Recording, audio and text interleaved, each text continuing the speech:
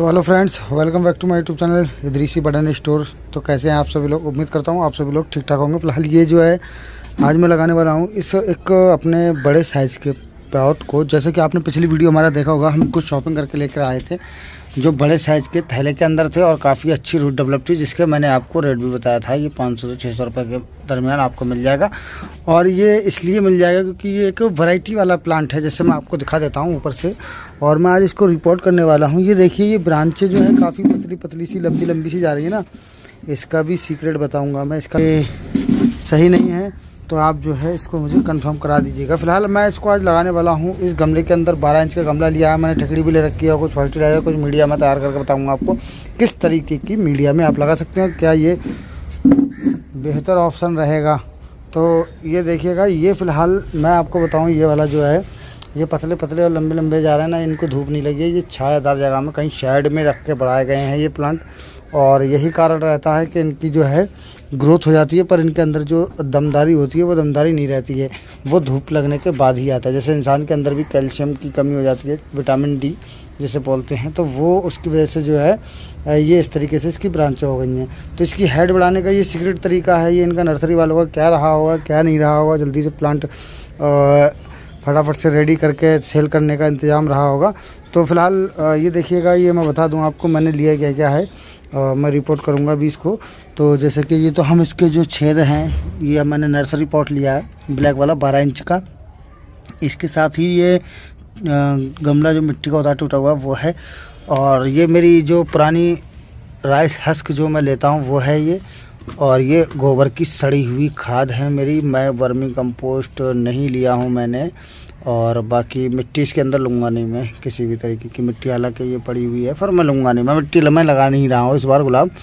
मिट्टी बहुत ना के बराबर कभी रे केस में आ जाती है। जैसे ये वाला प्लांट है, इसकी जो मिट्टी निकलेगी तो वो मैं रख सकता हूँ बस इसके अंदर, क्योंकि मैं इसको लगाना कैसे वाला हूँ, वो भी मैं आपको बता दूँगा, क्योंकि अभी फरवरी आने वाली है, कल से फरवरी शुरू हो जाएगी।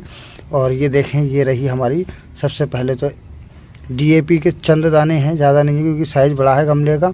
और ये रहा हमारा नीम की खल है, जो कि कीटाणु बैक्टीरिया को मारने के काम आता है। फ़िलहाल मैं इसमें से थोड़ा डीएपी के दाने इधर को कम कर देता हूँ, क्योंकि एक गमले के हिसाब से थोड़े से ज़्यादा हो जाते हैं। ये वाला चल जाएगा इतना, क्योंकि प्लांट हमारा मेच्योर है। अगर थोड़ा प्लांट भी छोटा होता तो इसके आप दाने और कम लेते। प्लांट और अच्छा होता तो और ज़्यादा ले सकते थे, कोई प्रॉब्लम की बात नहीं। ये है, वाम शक्ति से बोलते हैं। इसके अंदर दिखा दूँ मैं क्या क्या होता है। ये है मेरा वाम शक्ति। ये रूट की ग्रोथ के लिए होता है। ये मैंने एग्रो स्टार से ख़रीदा था। ये माइक्रोराइजा करके है। माइक्रोराइजल बायो फर्टिलाइज़र है, ये देख सकते हैं आप। और ये आप पढ़ लीजिएगा, इसके आगे क्या लिखा हुआ है इम्प्रूव जो है रूट वगैरह के लिए काफ़ी अच्छा होता है। और बाकी जो है मैंने कुछ नहीं लिया है, इसे मिला लूँगा। और मेरा एक फर्टिलाइज़र और रखा हुआ है, ये लील गाय की, बोलते हैं वो, मगर मैं इसको नहीं लूँगा क्योंकि ये तो बड़ा हार्ड सी हो रही है, पर कोई नहीं, थोड़ी सी ले लेता हूँ। ये बहुत अच्छा फर्टिलाइज़र का स्रोत है, जो कि जंगल में मिल जाती है। हिरन का जो होता है ये, मल, ये वो है। तो ये देखिएगा, इस तरीके से आप इसको भी, इसे ताज़ा भी डाल लेंगे तो कोई परेशानी नहीं आने वाली है और इससे काफ़ी अच्छे जो है न्यूट्रिएंट मिलेंगे हमारे इस गुलाब के पौधे को। चलिए स्टार्ट करता हूँ, मैं फटाफट से इसको काट लेता हूँ। इसको काटने के बाद मैं पहले इसको काट के, फिर मैं उसे मिला करके, फिर आपको लगा करके दिखाता हूँ। और ये देखिएगा, फ़िलहाल इसको निकालना कैसे है गुलाब को। फ़िलहाल ये वाला मैं सोच रहा हूँ कि इस तरीके से यहाँ से फाड़ दूँ, क्योंकि फाड़ने में ही बेहतरी है। मैं लालच करूँगा अगर इसके बैग का तो प्लांट महँगा भी है कॉस्टली भी है, फिर प्लस जो है, ये डबल डिलाइट है शायद, और ये मिलना फिर मुश्किल हो जाएगा, क्योंकि काफ़ी नर्सरियों में जो है है नहीं गुलाब। डबल डिलाइट फ़िलहाल इस बार आया बहुत है, धर्मेंद्र भाई के यहाँ। फ़िलहाल ये वाला जो मैं लेके आया हूँ, बॉबी भाई के यहाँ से लेकर के आया हूँ। और ये देखिएगा, इस तरीके से आप इसको निकाल लीजिएगा। ये भी धर्मेंद्र भाई दौलत के सामने ही नई नर्सरी खोली है, इन्होंने डाली है। नई अभी गाड़ी इनकी रिसेंटली उतरी है, लगभग दो तीन दिन हुए हैं। और उस गाड़ी में इनका ये गुलाब भी आया है, बड़े साइज़ का। तो इस तरीके से हमें इस कट्टे को यहाँ से हटा देना है। और इस चीज़ का विशेष ध्यान रखें, मौसम जो है, गर्म होने की कगार पे आ चुका है। तो आप इसकी जितनी मिनिमम से मिनिमम मिट्टी हटाने की कोशिश करें, जहाँ तक हट रही है तब। और अगर नहीं हट रही है तो आप उसमें जो है ज़बरदस्ती ना करें, क्योंकि रूट जो है फिर दिक्कत करेंगी।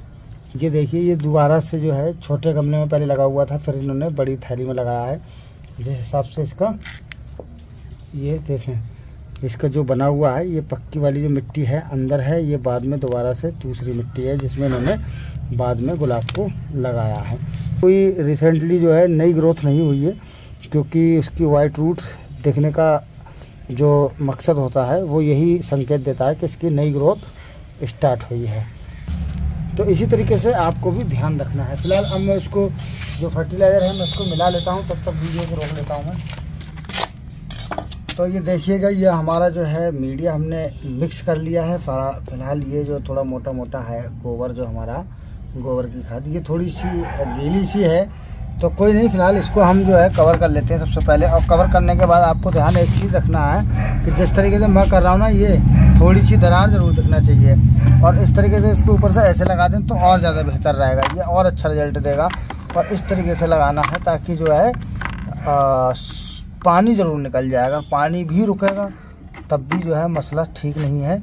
और पानी अगर सब निकल जाएगा मिट्टी के साथ मिट्टी भी निकल जाएगी उसके साथ तो अभी मसला ठीक नहीं है तो इस हिसाब से आपको लगाना होते हैं कि छेद को जो है थोड़ा सा इस हिसाब से लगाएँ ताकि छेद हमारा इसका खुला रहे। ये देखिएगा, इस तरीके से आपने लगा लेनी है, ये देखिएगा।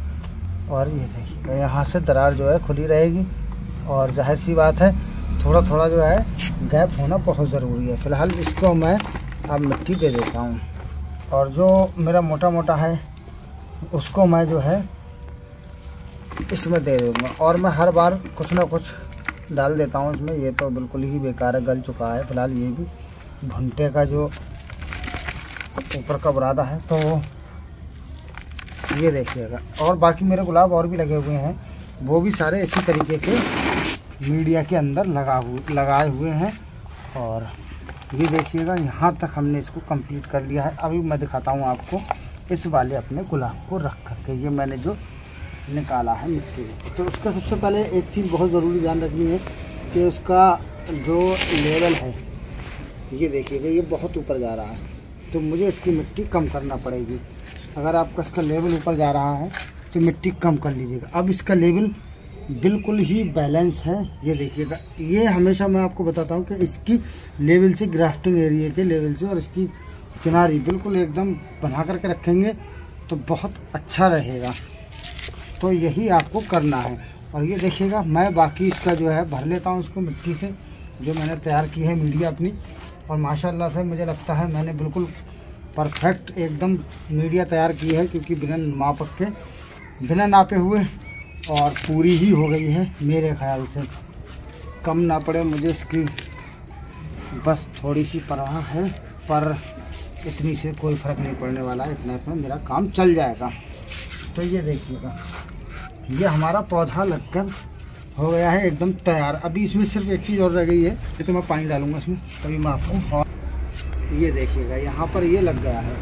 और ये इसका से इसे आप चाहें दबा दीजिएगा और वरना जो है देखें कितना खूबसूरत इसका लुक आ रहा है। और ये मेरे बारह इंच का गमला है। इसको मैं यहीं से लाइन शुरू करूँगा क्योंकि इसकी जो आ, आ, मेरे पास जगह तो है नहीं और बाकी क्योंकि यही एक जगह बाकी रह गई है जहाँ पर मैं ये प्लांटों को लौट बदल करता रहता हूँ। तो चलिए मैं अब इसमें पानी देता हूँ। तो ये देखिएगा मैं इसका ड्रेनेज सिस्टम भी आपको दिखा ही देता हूँ इस मीडिया की क्या क्वालिटी है ताकि मैं आपको क्यों बार बार बोलता हूँ।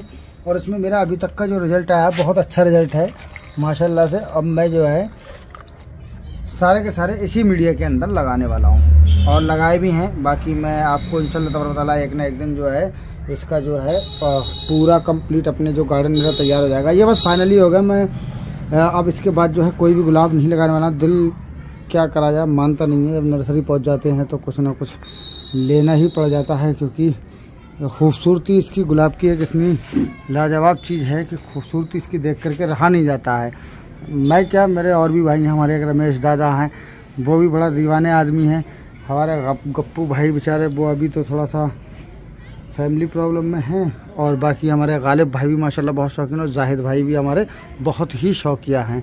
तो दोस्तों, ये वीडियो दिखाएँ। अब ये कैमरामैन नीचे को दिखाएँ। यहाँ से देखें, इसका पानी जो है, ये देखें, निकल करके बाहर आ गया है। जब तक हमने बात की आपसे, तब तक इसका पानी निकल करके बाहर आ चुका है। तो वीडियो अगर अच्छा लगा, वीडियो को लाइक शेयर ज़रूर करें। मिलते हैं नेक्स्ट वीडियो में। तब तक के दोस्तों, खुदा हाफिज़।